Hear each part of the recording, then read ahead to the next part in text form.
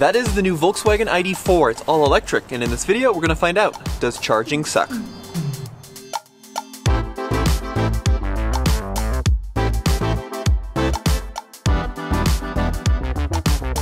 Now I did this video about a year ago and we found out that charging up an electric car can be somewhat tricky. We're gonna find out today, has it gotten any easier? And we're gonna start out with home charging.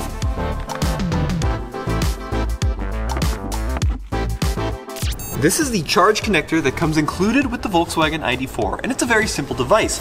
On one end, you have a standard three-prong power plug, and you can, you know, insert that into pretty much any plug in your house. You get some lights that start to blink, and then this just plugs into the car, and you can start to charge. Now this is a very simple solution, but it's also a very slow solution. This is called level 1 charging. It's the slowest form of charging, and this could take up to a couple of days to fully charge the Volkswagen. That level 1 charging works, but it's very, very slow, probably too slow for most of your daily driving. What you're going to want is one of these puppies. This is a dryer plug. It's called a NEMA 1450, but that doesn't matter. All you need to know is that this is a 240 volt plug you can get installed in your house. Now the price on that depends on the house, but for example at our house, it was about $900 to get it professionally installed. Now with this dryer plug, you can go out and buy one of these guys, a level 2 charger. That's right, we've gone from level 1 to level 2. And then you simply plug this into your dryer plug like that. That comes to life. You have the same connector on this end. And using this method, you can fully charge the ID4 in a matter of hours. It depends on how much charge you start with, but typically between like four and seven hours will do the job. Now, if you have a place to do this at home, in your garage, you can fully charge the ID4 at night when you're sleeping, wake up in the morning, you got a full charge, and you're ready to go. This is how most people are gonna charge the Volkswagen. But there are a couple of instances where this may not work. Home charging, be it level 1 or level 2, is typically very affordable. That Volkswagen is rated at about 250 miles on a single charge according to the EPA, and a full charge would cost a couple bucks. It depends on, of course, where you live and how much your electricity is, but a few dollars to fully charge the Volkswagen. What if you live in an apartment building and you don't have access to regular power? What if you live in the city and you have to street park your car and once again you can't plug it in overnight? How do you charge out in the wild? Let's find out. So if you haven't noticed, EV charging stations still aren't as prevalent as gasoline um, gas stations. So we're gonna have to get a little creative on how we find a place to charge that's not at home. Luckily Volkswagen helps us out. So here in the navigation, we can actually see all these little plug icons and these funny numbers by them. These are various public charging stations. Now the number 7.2 is a charging speed. It's kind of confusing if you're not really into electric cars, but the higher the number, the faster it will charge. 7.2 is once again like a dryer outlet, that's level 2. Um, so let's go ahead and click on one. Let's, let's see if we uh, can actually get charged up at one of these. So let me select that one.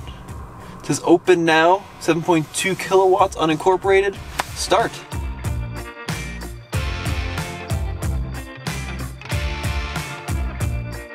Alright, so our navigation is saying that it's somewhere over here on the left side of the road. Oh, here we go. There it is. This looks to be a level 2 charger as well, so about the same speed as your home dryer outlet, but you'll notice this one's not at home in my garage, it's out here in a business park. Now, this is still gonna take a few hours to charge, and my typical rule of thumb with these, um, I only use them if they're convenient. So like if I'm going to my grocery store and there's one out front, I'll uh, plug it in if I'm gonna be there for like half an hour to an hour. But I wouldn't actively search these out because several hours to charge up is still pretty slow. This is more of a convenience thing.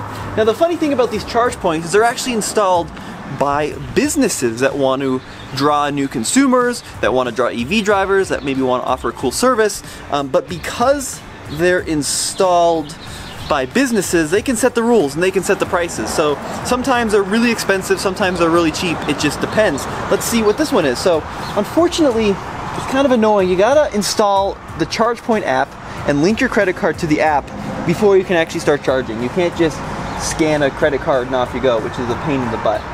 Um, but let's see if this works. So I'm gonna hold my phone up, use my Apple Pay, authorizing. Okay, it's gonna click, and then I just take the plug, come over here to the side of the Volkswagen, and plug it in. And then you can see here, it's charging, time elapsed, and then the price.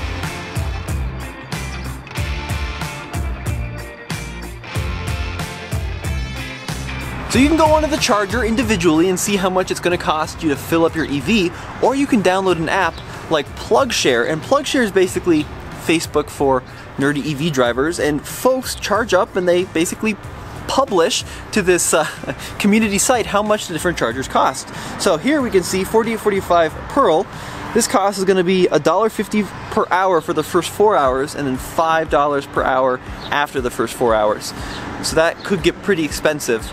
Once again, I only use these level 2 public chargers if it's convenient. I wouldn't actively search them out. But what if you're on a road trip or what if you don't have several hours to wait and let your car charge? Well, we're going to have to step up to level 3. That's when we get into supercharging or fast charging.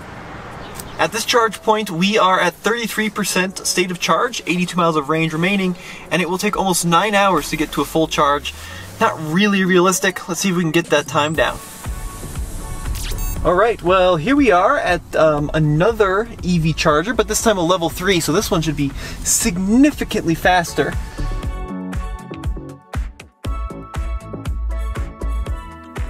On a fast charger like this, Volkswagen says that the ID4 can charge from 0 to about 80% in roughly 40 minutes or so, which is significantly faster. Now, just like that charge point we went to, most of the fast chargers require their own account or membership, which is super annoying. It'd be like having to have a different app to fill your gas car up at Shell, and a different app for Sinclair. Uh, it's just ah, really frustrating, but we'll see how this works. So I have a special EVgo app here on my phone. Now with the DC fast chargers, there's actually two different types of plugs. So there's one called CHAdeMO and one called CCS. The Volkswagen is going to use a CCS, and this is a 50 kilowatt charger, so much faster than the 7.2 we were at, but still pretty slow. All right, we're initializing, so I can remove the connector. You can see it's a little bit bigger because we're going to be pulling a lot more current here. Pop it open. I got to remove this little uh, dongle so I can uh, release the full CCS port, as it's called, plug it in charging. So we can see we're currently at 33%. Let's go ahead and uh, check out the car, see how, says it, how long it'll take to charge. The car is saying 1 hour and 15 minutes left charging, and this is from 33% all the way up to 100%, but this is pretty unrealistic. Let me show you why. Now EVs do charge much slower from 80 to 100% than from like 0 to let's say 80%. So I'm going to actually drag the charge limit down to 80% and you can see that really took down our time a lot. So we went from an hour 15 to just 45 minutes, and um, that's because it's kind of like people filling into a, a big crowded stadium. When the stadium is empty, all the electrons can just stream on in and fill in every seat. But as the stadium gets more full, the little electrons have to like crawl over their buddies and it becomes much more jam packed. It's kind of like how a battery charges. So when you're fast charging, you really only want to go to a max of 80%, but even less than that is preferable. Uh, and you can see here too, currently we are charging at a rate of 152 or about 151 miles per hour. That's miles gained per hour, which is pretty cool. So what we're gonna do now is see if we can get that even quicker. So uh, I think we can go to an even faster chit station. This one's rated at 50 kilowatts. Let's jump it up to like 150 kilowatts. So you're probably thinking, what about Tesla superchargers? These are really quick charging stations and they're really built out across the country as well. But Mr. Musk has uh, pretty much locked out the Tesla superchargers for just Teslas uh, I can't charge my ID4 at the Tesla supercharger because it's a Volkswagen and they're fast and they're really convenient. You just plug them in and off you go. But uh, not an option currently for the Volkswagen. Okay, uh, we are at a Walmart now, which can only mean one thing, Electrify America. This is one of the larger, if not the largest, DC fast charging networks in the country. Let's go ahead and pull in and uh, see if we can charge her up.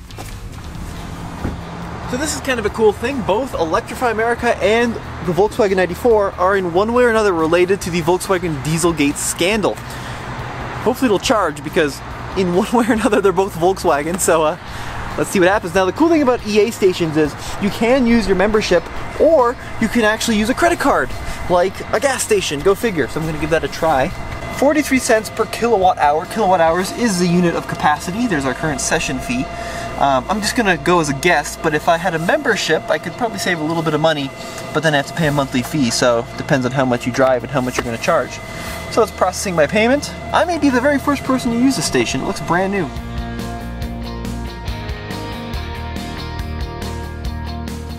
Well, you can see here to full from 32%, that would take about an hour and 10 minutes. But what if I drop it down to just 80%? That's gonna take 40 minutes, so faster than the EVgo station, but still not all that quick. Considering we're only at 33% state of charge, I'd expect it to be going faster. You can see here we are charging at 58 kilowatts. Now on paper, the Volkswagen ID4 can charge up to 125 kilowatts, but that's very dependent on the station, it's dependent on the temperature of the battery, it's dependent on the state of charge. This station's rated up to 150. We're only pulling 57, 58 right now, which is a little disappointing. It's about 46, 47 out here. I'd expect that to be a little higher, uh, especially at 35 to 37% state of charge, but we'll let it go a little bit longer, see if that comes up at all, um, and then go from there.